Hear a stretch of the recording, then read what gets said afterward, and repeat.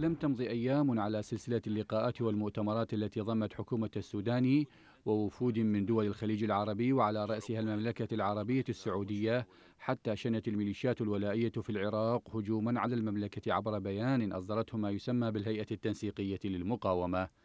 هيئة تتكون من عدة ميليشيات من بينها العصائب وميليشيا حزب الله وبدر وسيد الشهداء والنجباء وجند الخميني وميليشيات أخرى تجمعت في هذا التشكيل الذي يعد وجها آخر للإطار التنسيقي المؤلف لحكومة السودان ويتلقى تمويله من موازنة الدولة العراقية.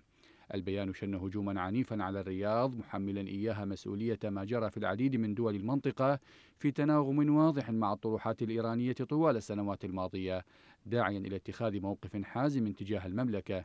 وذلك بعد أيام فقط من مسيرات حشدت لها الميليشيات في بغداد رفضا لإعدام السعودية بحرينيين بعد إدانتهما بالانضمام إلى خلية وصفت بالإرهابية ومرتبطة بإيران تهدف إلى زعزعة أمن السعودية والبحرين وإشاعة الفوضى فيهما.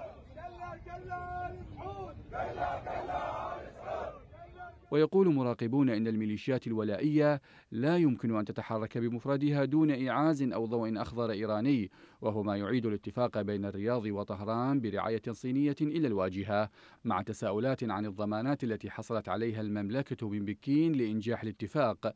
لا سيما وأن هذه الميليشيات هي نفسها التي هاجمت منشآت أرامكو النفطية عام 2019 بحسب شبكة CNN وصحيفة وول ستريت جورنال الأمريكيتين. هجوم جاء في سياق العديد من الهجمات التي شنتها أذرع إيران سواء في العراق أو اليمن أو لبنان. على مصالح دول خليجية تدعي طهران أنها تريد أن تفتح صفحة جديدة معها. لكنها في الوقت نفسه تستخدم هذه الأذرع وسيلة لترسيخ مزيد من النفوذ والهيمنة أو ورقة للضغط بهدف الحصول على مكاسب أكبر في مفاوضات تكشف سلوكيات الميليشيات حقيقة النوايا والأهداف المبيتة من ورائها.